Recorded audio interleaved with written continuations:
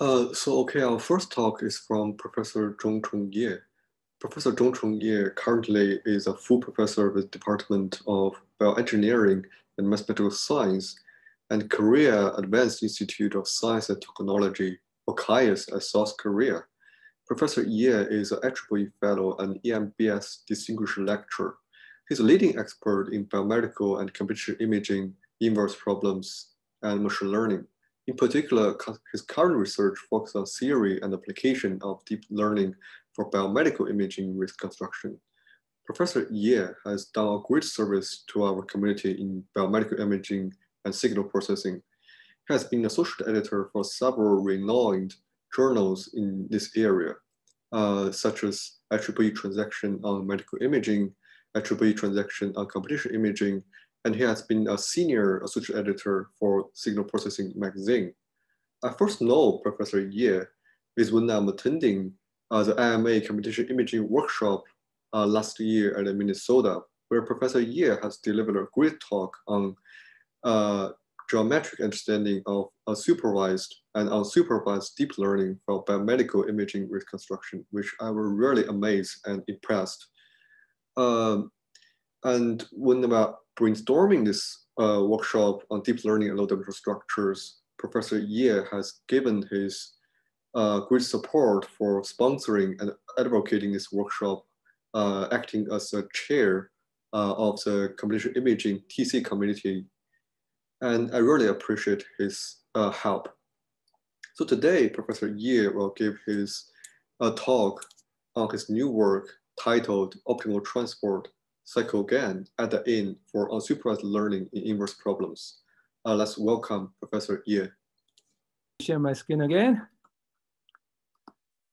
Okay, so anyway, thank you much for the kind introduction. Actually, in case there's a connection, uh, disconnection, I actually embed my voices in my presentation file. So I just presented it. And but because this is PPT, so if you have any question in between, please stop me that I can actually stop and answer your question anytime. Okay. Thanks organizers for inviting me to this wonderful workshop. I'm Jong Chul Ye from KAIST. In this presentation, I'd like to share our recent research works on optimal transport AdaIN and CycleGAN for unsupervised learning in inverse problem. In recent years, thanks to the high performance GPU technology and medical big data, deep learning has become the mainstream theme in medical imaging area. For example, from fundus imaging for diabetic diagnosis, skin cancer diagnosis, ophthalmology diagnosis using OCT and diagnosis using chest x-ray, deep neural network technology is now achieving the similar or even superior performance than that of the doctors. Deep tech companies has been emerging in many medical imaging areas. In addition, Deep learning-based algorithms has become a like state-of-art technologies uh, from beyond the scope of the diagnosis to the areas such as image segmentation, image registration, and etc. This kind of technology is mainly focused on the diagnosis and analysis, which means it starts from the generated images. And by processing the images using the standard computer vision technologies, we are interested in finding the segmentation or detection or even the diagnosis. However, listen to the trend in the deep neural network is inverse problem. Here, instead of starting with the image data, we start with the low data and using the deep neural network, we are interested in the forming high resolution and high quality one thing we are quite proud of is that we have made a leading contribution to make the deep learning approach become the mainstream in medical image reconstruction field. For example, in 2016 AAPM Low-Dose CT Grand Challenges, we present the world first deep learning algorithm and received an award. In fact, this research has changed the research trend in medical image reconstruction field. As a result, within just two years, Canon and GE commercialized a deep learning-based CT reconstruction algorithm. It is unprecedented that the result of academic research is uh, rapidly being put into practical use. These technologies are usually based on the feed-forward neural network approaches. Here, CNN performs a direct inverse operation, and this is most simplest and fast reconstruction method. However, for this type of supervised learning approaches, we need a lot of training data with the matched pairs. However, what happens if we do not have any labor data for the training? Can we still train the neural network for the inverse problem?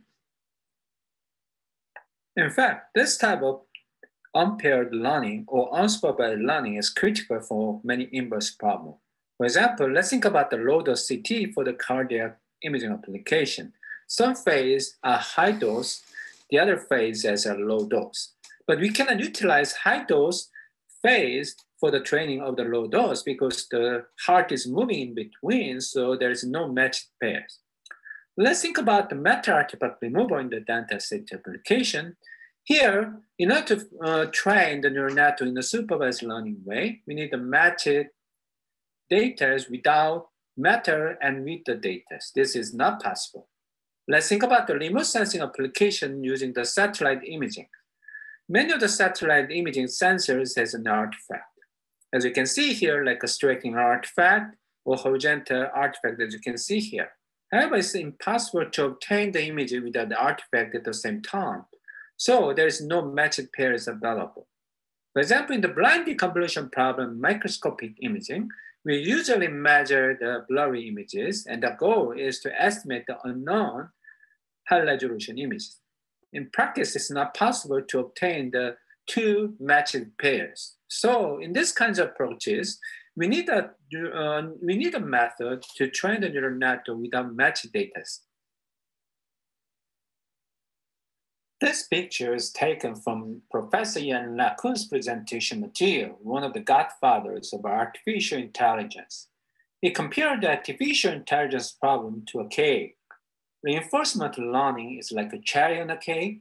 Supervised learning is just icing on the cake and the body of cake is an unsupervised learning problem. Therefore, we can see that unsupervised learning problem is the most important research topic of artificial intelligence. One of the, uh, one of the classical approaches for the unsupervised learning for inverse problem is penalized least squares. Penalized least square minimize the cost function which compose of the two terms. The first one is data fidelity or likelihood term, and the second term is prior term or regularization term. The goal is to minimize the sum of the two terms and try to make the best trade-off between the two. For example, the classical approaches like a Tikhonov regularization or total variation and compressed sensing belong to these classes. Here, the prior term is usually designed in a top-down manner based on the mathematical principle. However, there are several downsides of these approaches. In these approaches, if we solve this problem on particular measurement, those knowledge cannot be transferred to another problem. Therefore, this is not an inductive approach. Another downside of this approaches is computation is very expensive. You need to solve this problem for every measurement. On the other hand, model-based or plug-and-play using CNN model is a deep neural network approaches. This has been quite often used and investigated in late in recent years. Here, the first term corresponds to likelihood term data fidelity term like a penalized square. And the second term is instead of using the top-down prior model, we are interested in using the CNN-based regularization term here. Now QX is works as a uh, denoiser, so because of that, this regularization term is penalizing the noise term. So one of the nice thing about this one is this neural network Q set X is not complete, even though it's not completely unsupervised neural network, but still we can actually use relatively small training data set. However, one of the downsides of this one is, even though we use the deep neural network, the reconstruction algorithm is still iterative. We need to solve these kinds of iterative algorithms, as you can see in these equations. One of the well-known unsupervised learning approaches is the image prior model, published at CVPR in 2018. Unlike the conventional supervised learning approaches, no training data is required here. Instead, the image you want to obtain is modeled as an output of the neural network Q theta. The data is created through the given mapping physics or sensing matrix H. The goal is to resolve the image by solving the optimization problem to meet the data fidelity. This has advantage of completely unsupervised learning that does not require any training data, but it has the disadvantage that the computation amount is quite high, even higher than the existing model-based iterative approaches, because optimization problem need to be solved for each given measurement. The question is, is any unsupervised fit for convolution neural network approaches for inverse problem? In order to answer this question, we need to review the optimal transport theory. Optimal transport is concerned about transporting one probability measure to another one. For example, let mu denote the probability measure in the sample space X, and nu denote another measure in Y. Then transportation map transport measures mu to another one nu. This operation is represented by T sharp, which is often called the push forward of a measure. Formally, Push forward of a measure mu by a function f is defined using the inverse mapping as shown in equation one. However, this is a nonlinear operation. Monge's original formulation of the optimal transport as defined by the minimization problem of average transportation cost with respect to the transportation map T under the push forward constraint However, this problem is difficult to solve due to the nonlinearity of the push-forward constraint.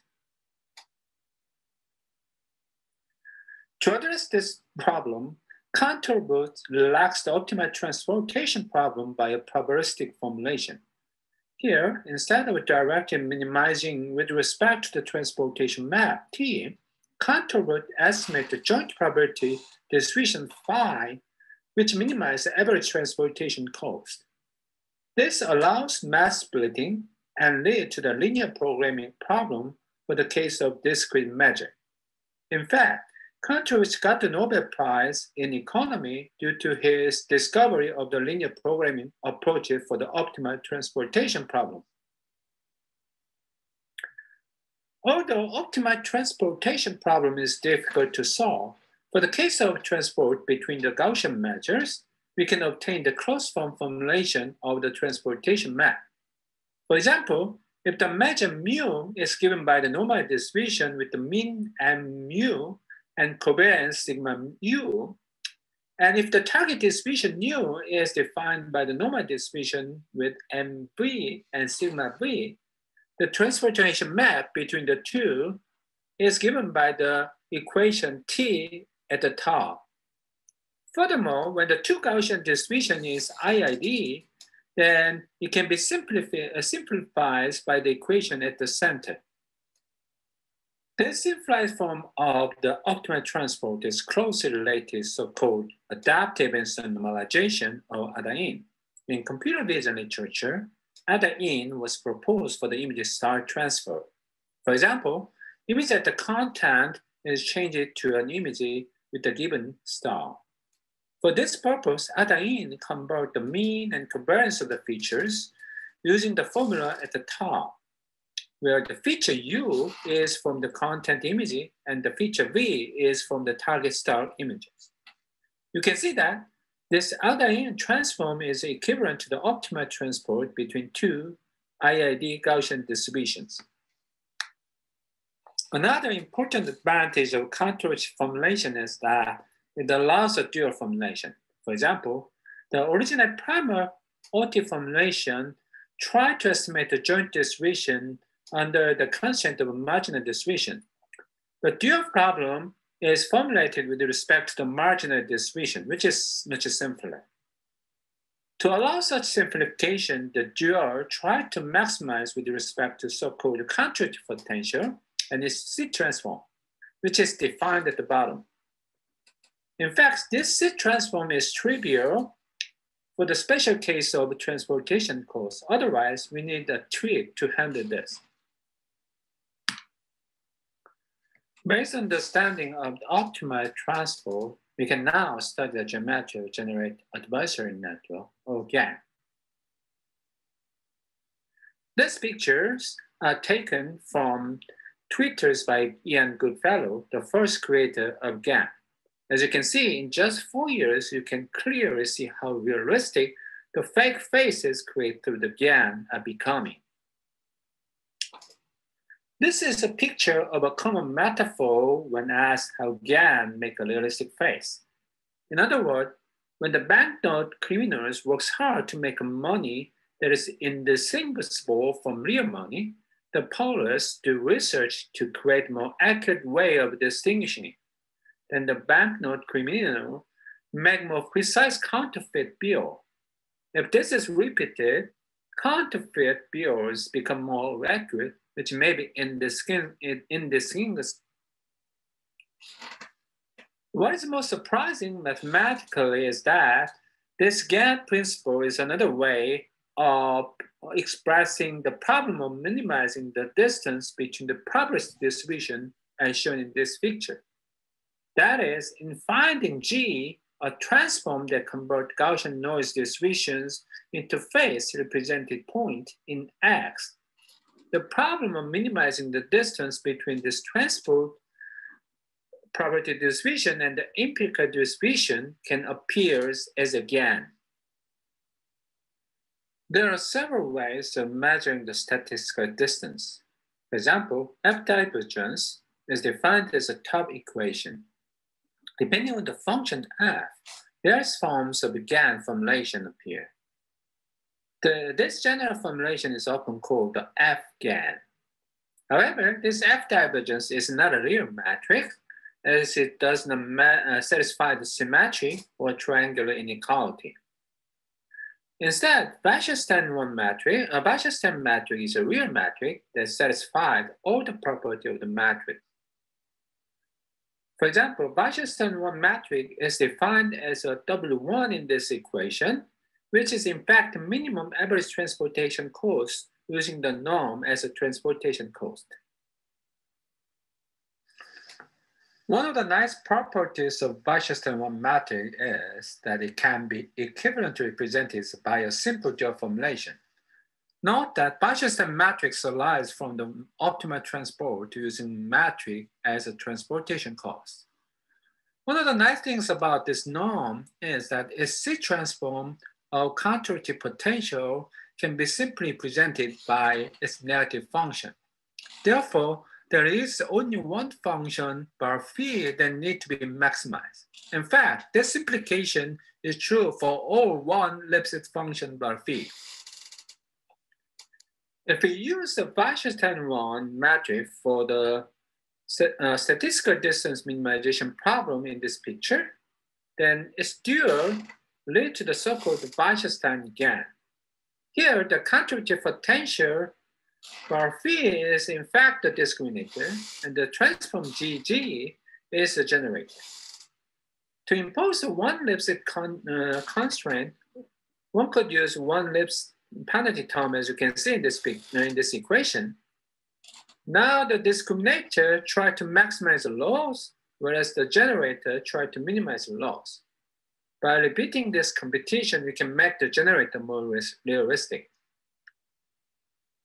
From now on, we'll discuss how this optimal transfer theory can be used to design unsupervised learning approaches for inverse problems.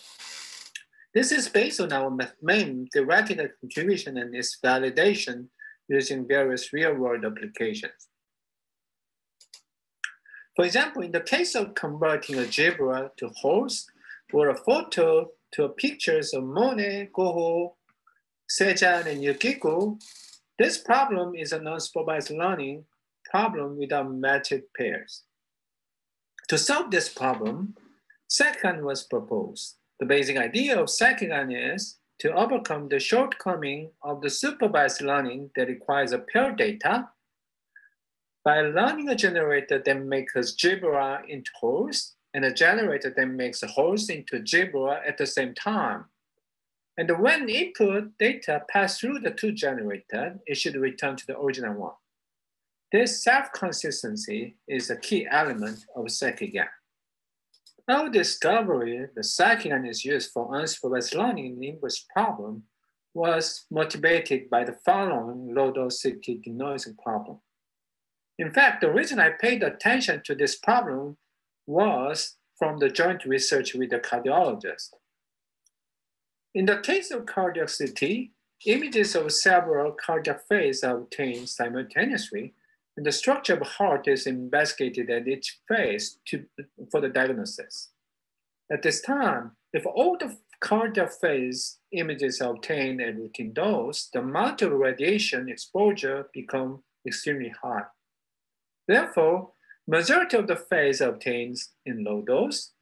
On the other hand, only a small set of the phase obtained at routine dose.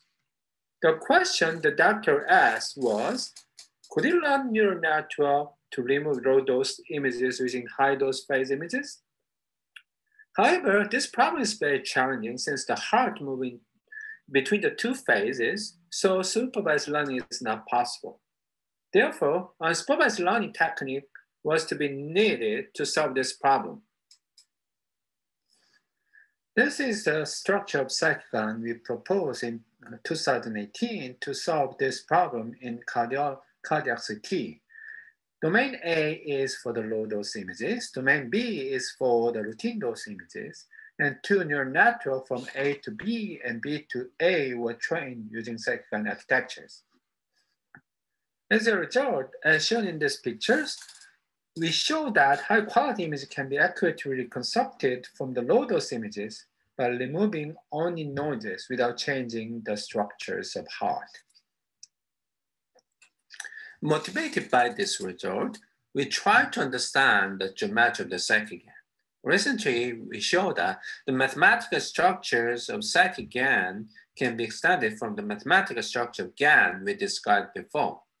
In other words, when there is a space X of measurement data and a domain X for the images, which are not, which are not matched to each other, one generator G learns the inversion from the measurement data to the image domain, whereas another generator F learns the transform from the image to the measurement.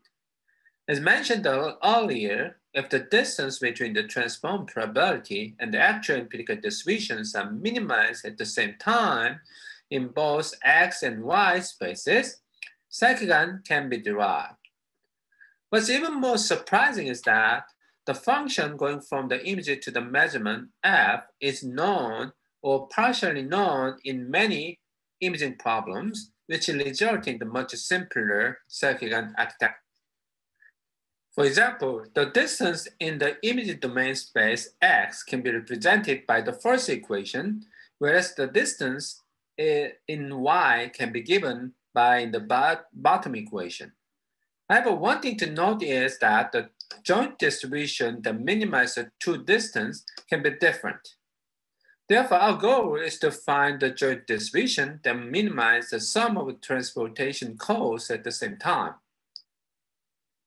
Specifically, the top equation is a formulation of the optimal transport for the unsupervised learning in inverse problem. In the transport cost, the first term is the data fidelity term, and the second term is considered as a regression term that penalizes inverse path consistency. A primary unsupervised learning formulation for inverse problem is done to minimize average cost with respect to all combination of image and measurement pairs. And the goal is to find the joint distribution that minimizes average cost. You can see that this formulation is similar to the penalized least square at the bottom. However, the penalized least square tries to estimate one instant of x from a given measurement y by minimizing the cost, whereas our formulation estimates the joint distribution that minimizes average cost for all combination of an x and y. Therefore, we can see that our optimal transportation formulation is considered as a stochastic generalization of penalized least square. Yeah, another important contribution about work is that the dual formulation lead to the CycleGAN formulation, which is composed of the cyclic consistence term and the discriminator term. In particular, the cyclic consistent term is written as shown in the left, and the discriminant term is shown in the right. Here, one of the important observations is that the four generator Phi in the cycle consistency and the discriminator term arise from the forward operator. Therefore, depending on the knowledge of the forward physics, the generator can be known, partially known, or unknown. This is very important implication as will be explained later. Moreover, the discriminator term is currently in the form of Wasserstein GAN. In fact, the derivation of this dual formulation is a little bit different, but very interesting in its own. So I'd like to explain it in more detail. First, the k theta h is average transportation cost from the primary problem, where the transportation cost is composed two terms from forward and backward mapping. Here we simply present forward operator as H rather than F phi. Now phi uh, dot is the optimal joint measure. From here, we can now obtain the Kantorovich dual formulation in terms of potential and their C transform. The reason we have one or two in this equation uh, is from that there are two forms of Kantorovich dual formulation depending on which side we are taking for the C transform. Now the last equation arises from the definition of the C. Now, instead of computing the class form C transform, our main trick is to find the upper and lower bound. Note that there is this if x and if y, if you look at the definition of the C transform. To derive the upper bound, we choose g zeta y instead of x and hx instead of y. By plugging this, we can obtain an upper bound. The reason we chose this is to remove one term in the transportation cost. In fact, by performing this, we can obtain an upper bound which composed of LOT, the discriminant term, and L cycle, the cycle consistency. To derive the lower bound, we are now interested in obtaining the lower bound of, for the term in the, in the circles. Here, one Lipschitz property of the Kantorovich potential is critical. Using the one Lipschitz constant uh, condition, we can obtain the lower bound at the bottom. If we replace the first circle with the top inequalities and the second one with the bottom inequalities, the inflow operation is no more necessary and we arrive at the lower bound, which are only composed of discriminant now, the final trick is a realization that the primal problem can be equivalently represented by a constant uh, constraint optimization problem under the constraint on the cycle consistency term. If we convert this one to an unconstrained form using Lagrangian multiplier, we end up with the cycle consistent uh, cycle GAN formulation. Therefore, we can conclude that the cycle GAN formulation is a dual form of the optimal transport problem, which is a statistical distance minimization in both X and Y spaces simultaneously. Another important advantage about formulation is that it leads to the various simplification. For example, figure A shows the standard cyclic architecture, which is composed of two generators, G zeta and F gamma, and two discriminator, which are all implemented by neural network. If we do not know the relationship of the cyclic and auto formulation of the unsupervised learning for inverse problem, we have to use architecture A for all inverse problem.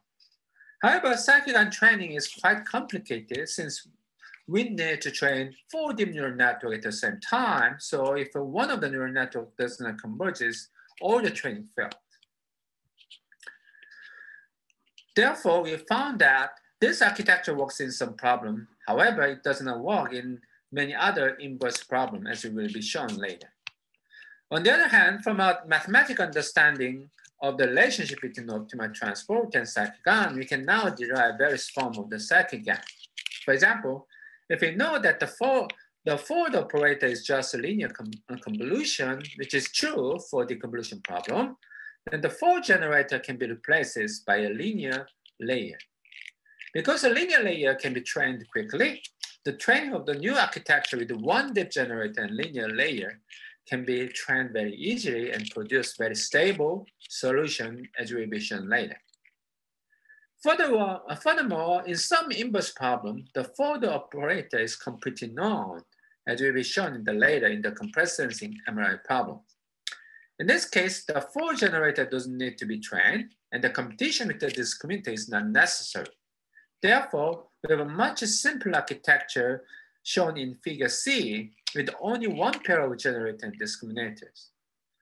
On the other hand, if the forward physics is not known, we have to estimate all using the neural network, which lead to the standard cyclic architecture in D with two pairs of generator discriminators. In the following, we show the three special cases of our cyclic architecture. The first case is for the deconvolution microscopy problem, which measured the blur image through the uh, point spread function of the optics. In this case, blur, uh, uh, blurs appears as a linear convolution in most cases. So the data fidelity term in the transportation cost is determined by the linear operator as shown in the top equation. As a result, in implementing our on one generator is a deep neural network, and the other is by a linear layer, which can be implemented using the convolution. As a result, the number of unknowns in the network is dramatically reduced, making the learning much more simple and... Sorry, one second, sorry. The first case is for the deconvolution microscopy problem, which measured the blur image uh, through the uh, point spread function of the optics. In this case, blur, uh, uh, blurs appears as a linear convolution in most cases. So the data fidelity term in the transportation cost is determined by the linear operator as shown in the top equation. As a result, in implementing our on one generator is a neural network, and the other is by a linear layer, which can be implemented using the convolution. As a result, the number of unknowns in the network is dramatically reduced, making the learning much more simple and stable. In the case of microtubule fluorescence imaging, you can see here, you can see that our result in the last column is restored to high quality while maintain, maintaining the structures of the microtubule accurately. Here, the network input is a blood microscopic imaging, the leftmost column. Also, what you see to the right is looking at the uh, side image of the 3D sagittal direction, and you can see the high resolution image restored. On the other hand, the commercial software such as AutoQuant, supervised learning with AutoQuant as a ground truth images, or conventional scikit can recover the complete structure of microtubule and result in the fragmented structures.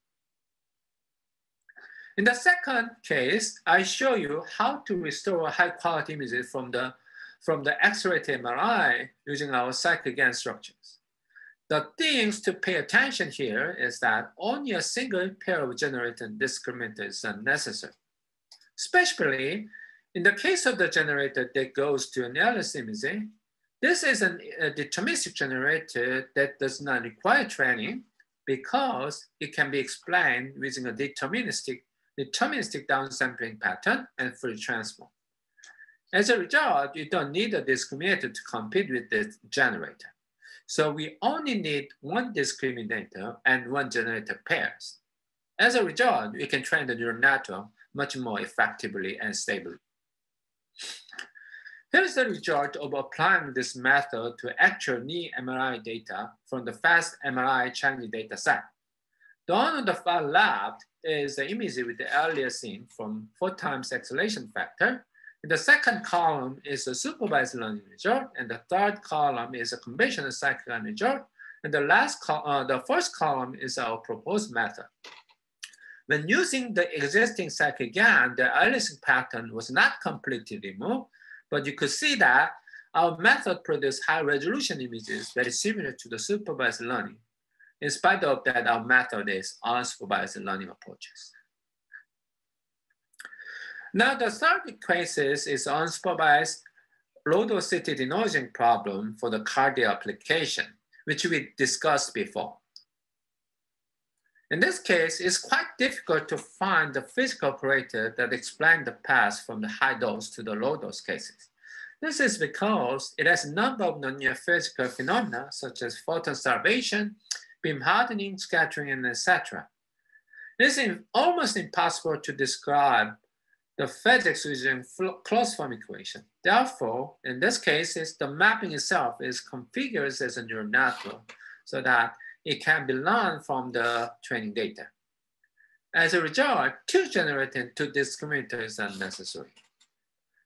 In addition, we should make no changes even if a high dose image is accidentally entered to the input of the generator. Therefore, identity loss is required.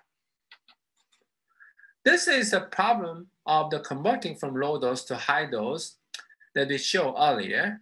In the difference images, you can see that the only noise pattern can be absorbed without affecting the actual structures. This is a result of an ablation study. When using only GAN without using cyclic loss, there was a problem that the image was distorted so naturally as in the rightmost column, which is indistinguishable from actual. The same thing happened even if identity loss is not used. However, if we use the proposed cyclic structures, you can see that there was no distortion of the reconstructed imaging. But what if a high-dose image was accidentally put into the input of the network? This situation usually happens in a clinical environment since this denoising is proposed as a batch test without user interventions. A method does not change as in the sec uh, second column, which is desirable. However, you can see that if there is no identity loss or, or only GAN is used, then the artificial structure occurs. Based on this kind of discussion so far, we found that our optimal transportation uh, derivable formulation for the unsupervised learning inverse problem lead to flexible architecture that is ideally suitable for many real world applications. However, as discussed before, the last case with the two pair of deep generator discriminators are often difficult to train and requires many training uh, data sets as well, since it composed of four deep neural networks. From now on, we introduce our listen proposal to address these issues. Here we demonstrate that even for these cases, the knowledge of optimal transport help to simplify the cyclic architecture. The key idea for such a simplification is the use of adaptive instance normalization or AdaIN, which we discussed before. First, the left side figure shows the vanilla cyclic architecture, which is composed of two pairs of generator and discriminators. On the other hand, the right side is our new network architecture, which is composed of one generator with a small network app, which generates AdaIN codes. Recall that the AdaIN is an optimal transport between two IID Gaussian distributions. Therefore, rather than using two different generators, our main innovation is to design each one of them as an autoencoder followed by optimal transport between two IID Gaussian distributions. Then depending on the IID code, the composite generator can become GYX or GXY. This is a network architecture of our composite generator. The top one is a standard U-Net with the instance normalization layer. In the bottom blue box is ADA code generator, which generates target ADA code that can be used at the instance normalization layer. One key point here is that the ADA code generator is very simple architecture, even though we show that in a bulky blue box to, uh, to show the inside clearly. In fact, the actual number of additional weight and flops is very, uh, very minimal, as you can, as will be discussed later. Furthermore, at the test phase, this ADA code generator is no more necessary because we just need a generated code, which is very simple numbers. In fact, the idea of using ADA code generator was inspired by StarGAN. The beautiful girl's face you can see here is, is a fake face created by StyleGAN. Throughout the use of AdaIN code generator across a multiple layer shown in the right, a fake face was created that was uh, totally indistinguishable from the real face. In fact, this is one of the most popular papers that received the most attention in CVPR in 2019. We apply this idea to the low-dose CT denoising problem. Now, this example shows how our switchable cyclic generator works. Once a neural network is trained, all we need is a U-Net generator and two AdaIN codes. Normal AdaIN code generator is necessary. Now the top layer, uh, top low, the input is low dose imaging. If you use the AdaIN code CX that convert to high dose, the noise can be removed. However, if you use AdaIN code CY, the network produce noise images. Now in the second low, the input image is high dose image X. If it uses AdaIN code CY, then the network add the noise. On the other hand, if we use AdaIN code CX, the network convert the image to the domain X, which is high dose imaging. From this, we can see that our single generator can be used as a forward and backward mapping by simply changing the AdaIN code at the inference phase. This is important. Now, table two shows that the number of trainable parameters for the vanilla CycleGAN our, and our switchable CycleGAN. We can see that the AdaIN code generator F is much lighter, so that the overall number of parameters become nearly half of the original CycleGAN.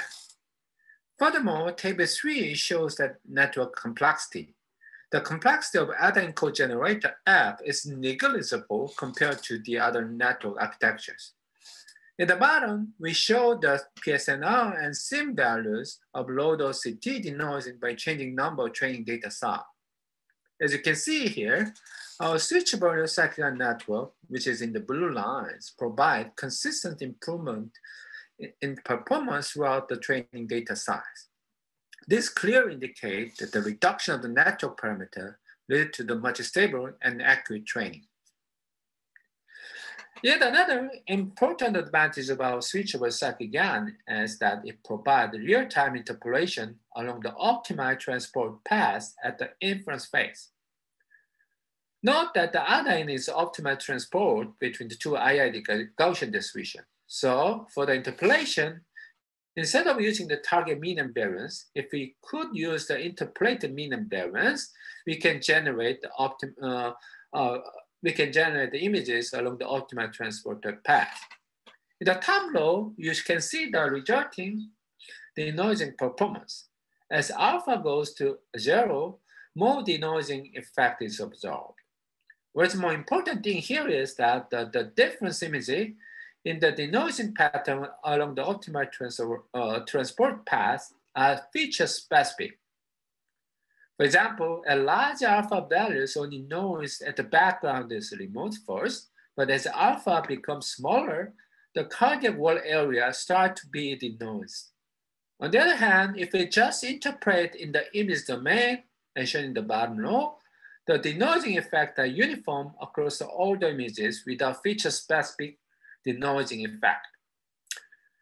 Now the feature-specific denoising effect by AdaIN is very important from a clinical perspective, since doctor can change the alpha value at the test phase to only remove the background noise without affecting structures if they want. However, image domain denoising does not provide such flexibilities.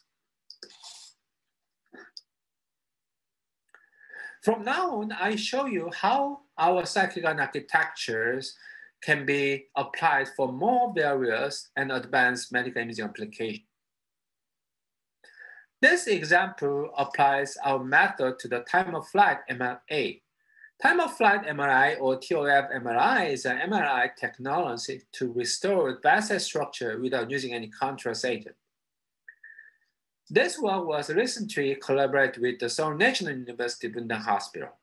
In the case of time of flight MRA, subsamples are performed in the coronal direction, where the clinical diagnosis use axial direction images. especially using maximum intensity projection or MIP data. Based on this observation, we create a new type of two-step unsupervised learning approach. Here is how we implement the network. The network is composed of two neural networks that restore the coronal direction and improve the image in the axial direction successfully.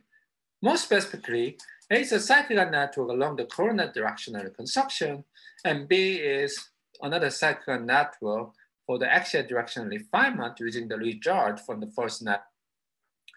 In the case of the coronal direction, the sampling pattern is known, so the cyclic network architecture can be formulated with a single generator and discriminator. At this time, the important point is to make good use of the multi-coil data. In the study, we discovered that if we directly learn the sum of squares images, you can actually, you, you can exploit the coil information much better. After obtaining the sum of square images in this way, unsupervised learning is performed in, again in axial direction. There is no explicit sampling pattern or imaging physics for this uh, step. So two deep neural network generators and discriminators are necessary. This is an image restored based on our result and the conventional method. The picture above is a result using the compressed sensing, which is a banded solution. And the bottom one is our result obtained from the same k-space data. As you can see, you can get, we can get the much more clear and precise vessel images. In this picture, you can see the advantage of the image uh, proposed method more clearly. The left is raw data we see from the side view. The middle one is a compressed sensing band solution, and the right column is our method. We can construct much more precise vascular structures, which was not visible by the uh, conventional band solutions. So far, we have talked about unsupervised learning techniques used for the construct, uh, to reconstruct MR images. In this slide, I talk about unsupervised learning method for ultrasound image restoration. In particular, what I'm going to show you now is a study on improving the image quality of low quality ultrasound imaging obtained from low-cost handheld system to become similar to high quality imaging obtained from expensive system. This is a true unsupervised learning problem as it is impossible to obtain paired dataset. Based on our discussion so far, we now use our specially designed optimal transport-driven cyclic architectures. At this time, we need a structure that contains the two generators and two discriminators. The reason for that is that the physics of making low-cost images from high-quality images are not actually defined, so we have to learn from the data. These are, these are the images obtained through actual experiment. The images at the top, uh, uh, top lows are the low quality images obtained from the low cost handheld ultrasound system. The second low is a conversion result by a method to the high quality image similar to those obtained from the expensive equipment. You can see that image contrast has improved a lot. To verify this, we compare low quality image, improved image, and high quality image at the bottom lows using the uh, phantom data. As you can see in the result, the contrast is converted into a form similar to that of the expensive system. This example introduces a network architecture, what we call the beta cyclic, which we propose to remove metal artifact from X-ray CT. In this case, the process of creating metal artifact from artifact-free images is difficult to model accurately. In the case of metal artifact, streaking artifact appears due to beam hardening, photon starvation, and etc., which are difficult to model. So we learned this part with a neural network. However, even in these cases, it is difficult to accurately create metal artifact corrupted images. Therefore, more weight is given to making an artifact free images rather than to the process of making art, metal artifact. We found that this leads to the better artifact removal. We call this architecture as beta cyclic because this structure is similar to that of the beta VAE or beta variation autoencoder, which gives more weight in the latent space. What you can see here is an example applied to the dental CT. The leftmost column is the input image with the metal artifact. You can see the streaking artifact and shadowing artifact. In particular, if you look at the picture on the right panel, you can see that the artifacts are more visible in the homogeneous background tissues. The third and fourth column are restored in the classical ways, such as linear interpolation and normalized MAR.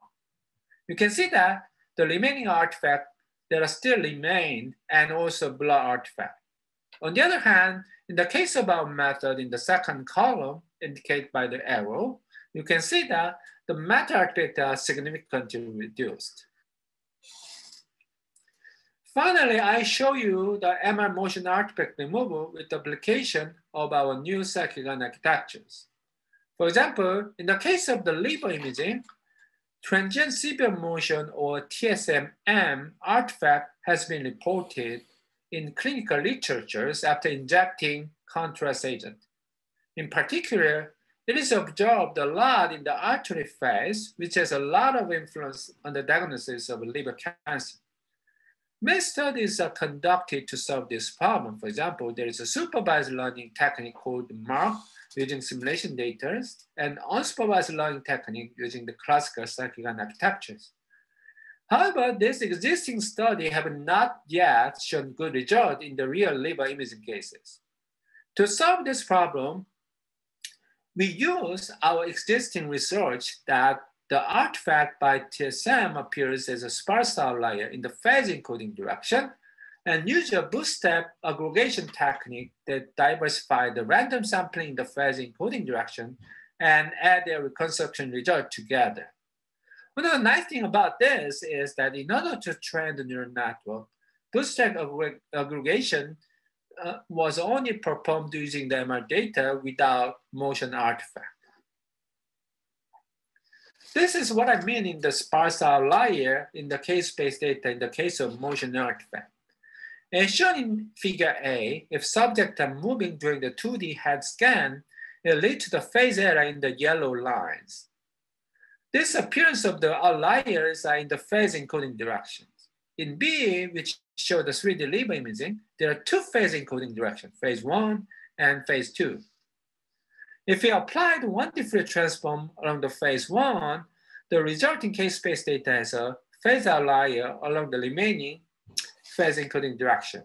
Therefore, our goal is to apply the random sampling along the phase encoding direction in 2D k-space data so that some of the outlier can be removed during the subsampling. Then the aggregation step of the neural network output can be less affected by the motion errors by still maintaining those image qualities. However, if we combine this bootstrap aggregation with the supervised learning method, we observe the severe blurring artifact.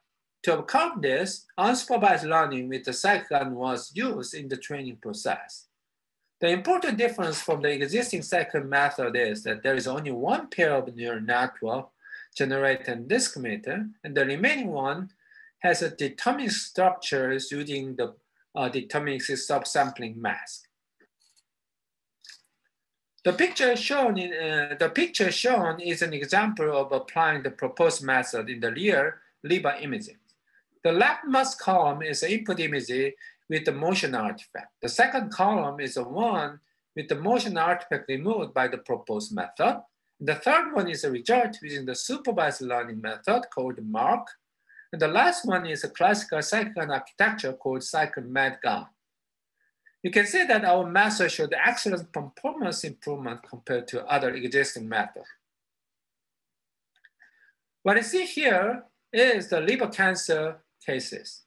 Figure A is the input image with the motion artifact.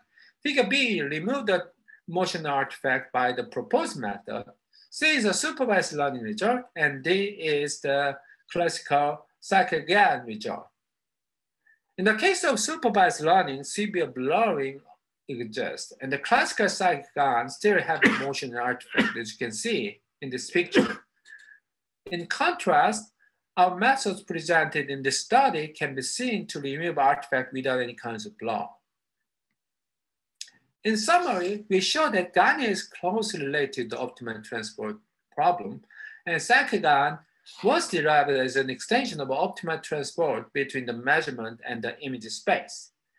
Depending on the knowledge of the imaging physics, we show the various form of CycleGAN architecture can be derived, and we demonstrate the real application, which shows clearly show the flexibility of our method and accuracies. With that, I'd like to conclude my talk. Thank you very much for your attention. Uh, thanks, Professor Ye, for this wonderful talk. Uh, is there any, any questions?